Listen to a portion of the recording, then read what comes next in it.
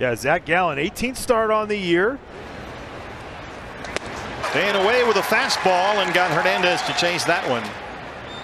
2 2. Swing and a miss.